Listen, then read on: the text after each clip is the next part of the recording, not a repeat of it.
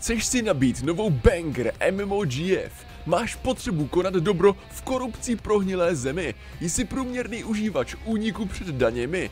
Je Jeff Bezos tvůj vysněný sacharidový tačka? Nehleď dál než k New Worldu, příteli. Tahle hra uspokojí všechny tvé touhy. V minulé epizodě jsme se setkali s degenerací online interakce. Použili jsme Bear Grylsovy strategie na přežití v divočině až na chcaní do huby a vymítili hnízdo místních prohnilců. Proč? Protože nemrtví nemají žádný práva. V dnešní epizodě se, no tak se prostě podívej. OK, asi by bylo potřebný sem hodit ten text informací, který budu dávat na každou epizodu, takže si ho asi přečtěte. Dokončili jsme tutoriál, tudíž trénink pro opice, co ho potřebujou. Teda, teda chci říct, dneska videohry hraje i vaše babička, mějte trošku respekt inkluzivitě. S definitivně ženským pohlavím potkáváme pocestného obchodníka, který dostal takzvaně kamínek do boty. Tohle NPC ale najednou nemá dubbing. Kámo, tak když už chceš něco dělat, tak aspoň v tom buď konzistentní, hro. To, že jsme ho potkali na na cestě mi původně dalo přesvědčení, že je to nějaký dynamický quest, který prostě můžeš najít ve světě.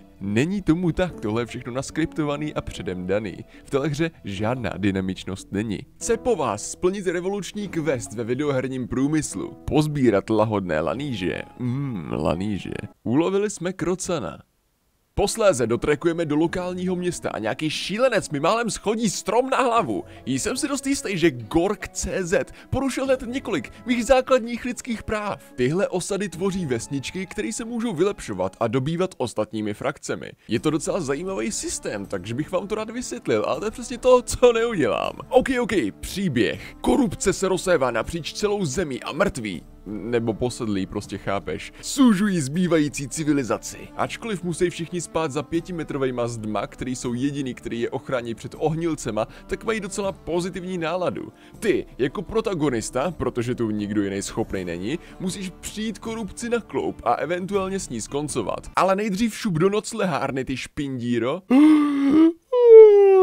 téhle hře prakticky nejsou obchody, všechen výměný obchod probíhá přes hráčskou aukci. To je zvláštní rozhodnutí při nejmenším, ale moc si nestěžu, když si pořídím nejlepší zbroj, co mohu sehnat za minimální výdajový útok na mou peněženku. Nyní mám dvě sekery, zvykej si, žádný štíty, štíty jsou pro sráče. Bůh soje gaming. New World jede na světový rekord nejnudnějšího intra ve videohře. Oni tě vyložní jakožto součástí hlavní příběhové linky. Vyšlou se sbírat tolik a tolik surovin. Pokud sebou nemáš knížku, jak staťkovatit za jedno odpoledne, budeš mít docela krušný čas. Budeš se totiž věnovat aktivitám jako 30 sekund kácení. Ne, vážně, je to 30 sekund, já to stopnul. 30 sekund šumění na mlácení do stromu. Jen aby se přesunul na mnohem záživnějších 15 sekund těžení, 15 sekund utrpení. Je to jen tak málo z důvodu, že je to fakt malý shooter. Jen proto, aby hra pak vzala tvé úsilí a vydělila ho čtyřma a boom, to je finální produkt. Který vlastně ani nepotřebuješ, ale rozhodně ho budeš potřebovat vytvořit, protože na to, co chceš, potřebuješ vyšší úroveň té profese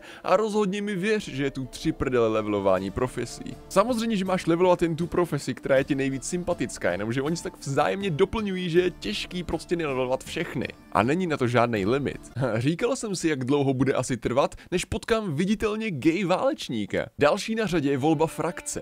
Jsou tu tři velcí hráči, maraudeři, co postrádají v inteligenci kompenzují svalama. Syndikát, podmínka přijetí je evidentně mít schizofrenii. Covenant, který má červenou a má prý jiskru. OK, prakticky komouši, jsou to prakticky komouši. V mých očích teda není žádný výběr, je jen jedna cesta. Možná to byl ale krok vedle, protože skoro všechno území na serveru vlastní Covenant. Frakce jsou docela cool a jedná se prakticky o PvPčko a věci okolo. Musím říct, že se mi to líbí což mě přináší k další věci, co se mi líbí. World PvP. Jen a pouze v úkrytu můžeš zapnout a vypnout PvP flag. Potom můžeš útočit nebo být zaútočen ostatními hráči, co mají také zaplé PvPčko. Bonus za pořád zaplý PvPčko je pochopitelně masivní péro. A taky bonusový expy, ty tam jsou taky. Kdo nemá zaplý PvPčko je ale mléčnej hoch! Jako přijímací kurz pro nové členy je genocida lidí, kteří evidentně zažili i první republiku. Nebudu lhát, že už jsem docela frajer, co se týče souboje a krom desynchronizace a záseků je soubojový systém velice vyhovující. Jen se podívej na ten hříšný tanec. Pohleď na tenhle grafický porno moment. Arr. Quest logicky zase nudný, ale co bylo zajímavý, byl výskyt korupce, který jsem samozřejmě musel probádat. Myslím si ale, že každý měl můj znalecký úsudek uprdele. Tohle totiž bylo kompletně mimo moji levelovou kategorii. Držel jsem se zuby a nechty od chcípnutí a pouze lechtal satanovi příslušníky, zatímco tyhle elitní gorila válečníci dělali svoji práci. Za moji nulovou asistenci jsem samozřejmě získal šťavnatou odměnu.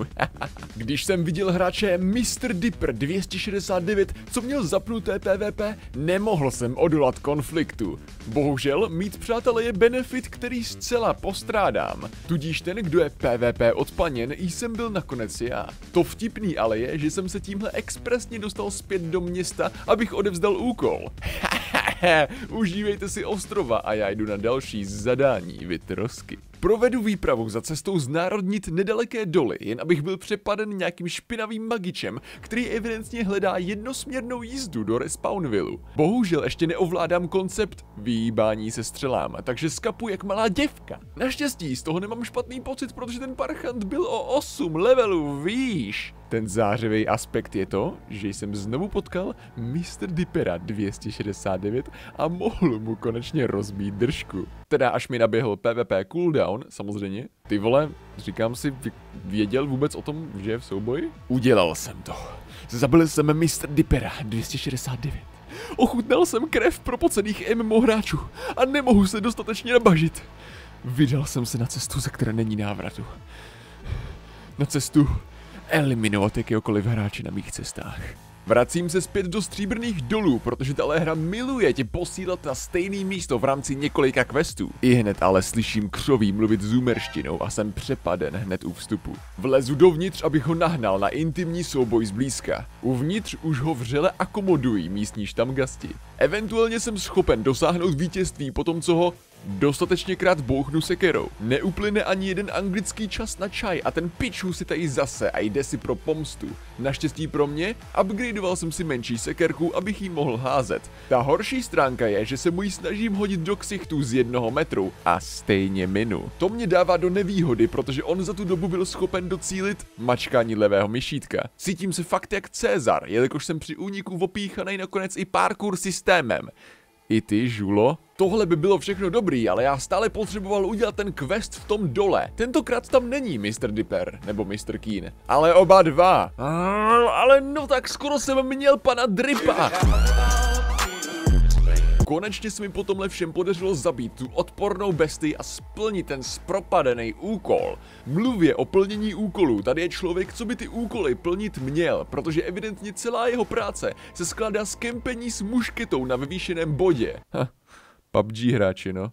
Zpátky ve městě se nám začíná dařit s nacházením řešení pro korupci. A kdo ví, možná, že když vynalezneme vakcínu, snad na rozdíl od reálného života ji tady nebudu považovat za hoax. Záchrana světa je top priorita, ale věř tomu, že když jsem viděl hadí vláček, tak jsem se bez přemýšlení musel přidat. Brzy se přidalo spousta nových členů, většinově z řad marauderů, což celkem utvrzuje, že maraudeři jsou skupina organizovaných dementů. Jako jednotlivci jsme pouze lidé, ale společně tvoříme lidskou stonožku fanoušků. Tohle, tohle je pro toho jedinýho fanouška lidský stonožky pod sluncem, který reálně považoval ten film za dobrý.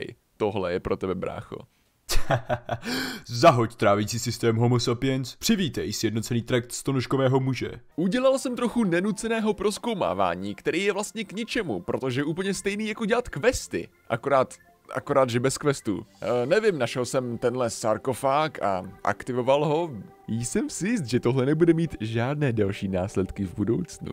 Nicméně naše neprůstřelná strategie proti invazi jít k těm malým zárodkům korupce a stisknout na ně Ečko. Co ale není už tolik jednoduchý, je se vypořádat s Burákem 033, který je o 7 levelů výš. Tenhle skurvisin mi připomněl incident otevřené ledničky, když mě prostě zmrazil na místě.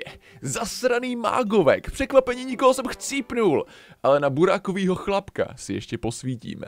Třeba tak, že tam naběhnu znova a rozbiju mu ciferník. Ale to nejvíc vtipný, když bojuješ s někým, co má značně vyšší level, že uděláš všechny své úhyby a sekírkové hody perfektně, ale je to vlastně úplně jedno, protože on si během sekundy doplní zpět všechno zdraví. PvP je balancovaný, brácho, já vůbec nevím, o čem mluvíš, to je balancovaný. Co a co, co, co, co, co, co, co co, co, co ale ti opravdu zhorší den je další velice vzdálené kráčení ke questu. Alternativně můžeš použít fast travel. Bohužel za cenu vzácné herní měny Azothu. Takže oni udělali MMOčko s velkým světem, bez mountu a s limitovaným fast travelem, který ještě stojí nějakou debil debilní extra měnu, kdyby to aspoň byly ty zlaťáky, ale ne. Moje destinace je útočiště starce, který byl veteránem ve Větnamu a tak může poskytnout drahocené informace k této válce. Chodou náhod je to zároveň nejlukrativnější rybářské místo. Můžeš v skutku poznat, že se tu nachází kapr obecný. Bohu, bo, bo, bo, bo, bo, bo, bo, bo, Bohužel tenhle starec ale trpí na Alzheimera.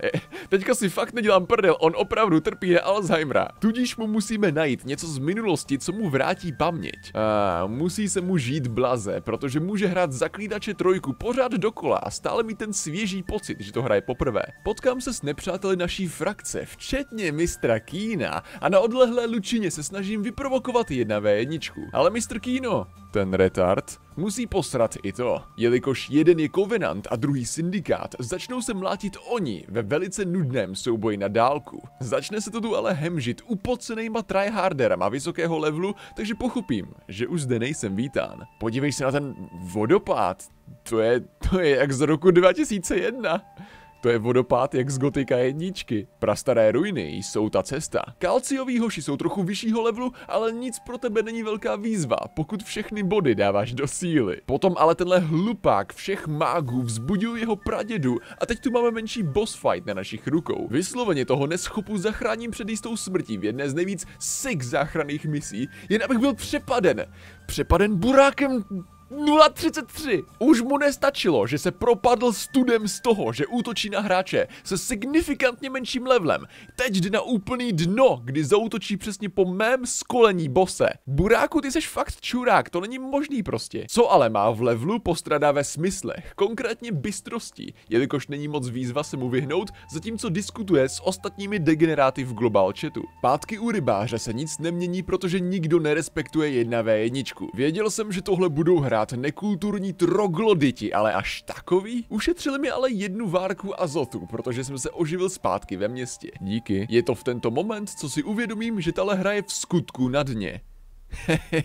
Slovní hříčka. Není tu plavání. Ty prostě chodíš pod ně. Což by byl hezký detail, kdybys byl přetížený, ale bohužel tomu tak není. Stále můžu být zvednutý po tom, co jsem utonul. Hurá! Pokud vám ještě nestačila tahle studna pro nesmyslný videoherní design, šel jsem na úkol frakce, který byl označený bez levelového omezení a prostě jako PvP. Tahle PvP mise spočívala v tom, že máš zabít vlky, který jsou tak o 10 levelů výš. Jak pr proč co? Já nepřestávám žasnout nad tím, jak špatná tady ta hra je. Pár questů později se nachomítnu u jednoho hráče, možná ho budete znát. Burák 033. Tentokrát jsem se sebou nenechal vyjebat a vpálil do toho sráče vše, co mám. Byl to dost vyvážený souboj, ale při nejmenším náznaku toho, že by Burák mohl prohrát férový zápas, okamžitě zdrhnul a začal do sebe spát jídlo, jako kdyby hrál kurva Skyrim. Což ho nechávalo ve výhodě, co se týče zdraví, dokázal jsem to docela přebít, ale on nepřestával dával jíst. On furt jedl. Buráku, tohle už je třetí strike, co se týče PvP etikety. Jak můžeš porušit tři celý pravidla PvPčka, ty vole? Nic ale nedokáže přebít tohohle zoufalce, který je 9 levelů vejš a koupil si zlatou zbroj za extra prachy, aby si tím kompenzoval svůj mizerný život. No nevím, moc mu to teda nešlo. Na té víc pozitivnější notě si ale myslím, že už jsem se docela zlepšil, co se týče souboje. Potkal jsem tohohle absolutního sam samce, což jsem považoval za slušnou výzvu a celkem si s ním ten souboj užil. Tehdy jsem ale bohužel nevěděl, že přesně tenhle boss je jedna ku jedný skopírovaný několikrát na několika levelech a na několika lokacích. To pak docela rozbíjí ten dobrý pocit z toho. Jenže je to New World, tady kvalitu nikdo neočekává. Co se ale stalo, když jsem se lognul druhý den na New World? No, no, fronta, vole, která trvala tři hodiny. Já myslel, jakože v ohledu gameplaye. No řekněme, že to se bude muset nechat na další epizodu.